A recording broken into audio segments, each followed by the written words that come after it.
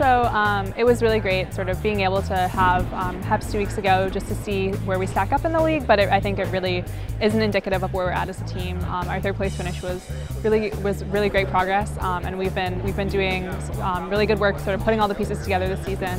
Um, but I think regionals is sort of different because it's really about how you perform on the day. I think we're kind of doing some fine tuning going into the race, just making sure that we're really ready to go. We have our legs under us, we feel recovered, but um, I think we have some of our best racing ahead of us. We've like had a very solid season, but I think we've put the work in and now it's just about feeling ready to have a really solid race and put it together on the day to move on after regionals. Just being able to sort of see a Columbia runner up ahead or a Dartmouth runner and really being able to target those teams is really helpful um, sort of uh, mentally, but I think that um, it also um, gives you something, sort of a way to um, sort of gauge where you're at um, in the race. Um, if there's somebody that you raced against the week before, you can race, work on beating them. There were a lot of teams that were really close at HEPS and it kind of could have been anyone's day and it happened to be Columbia's but I think um, both Columbia and Dartmouth are still really within our reach and it kind of is just about who shows up on the day at regionals and like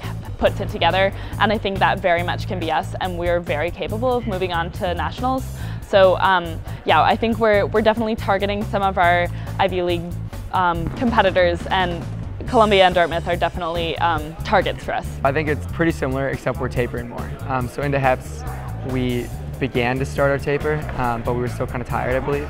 Um, and now we've had this whole past two weeks just to prepare for this race. Um, so we're no longer doing high mileage repeats, we're just doing kind of speed work.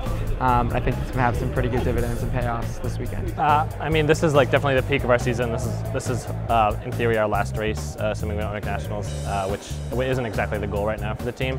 So, I mean, we were definitely like resting and taking it relatively easily before HEPS, but we've just kind of amplified all of that. and uh, taken all of our workouts, kind of toned them down, been running just lower mileage, just gearing up, getting ready, getting a lot of rest, making sure we're staying healthy on top of everything. Yeah, I mean, Columbia did really, really well. Um, Dartmouth barely uh, eclipsed us at HEPS. Um, so I think those two are definitely the teams we're, we're most shooting for.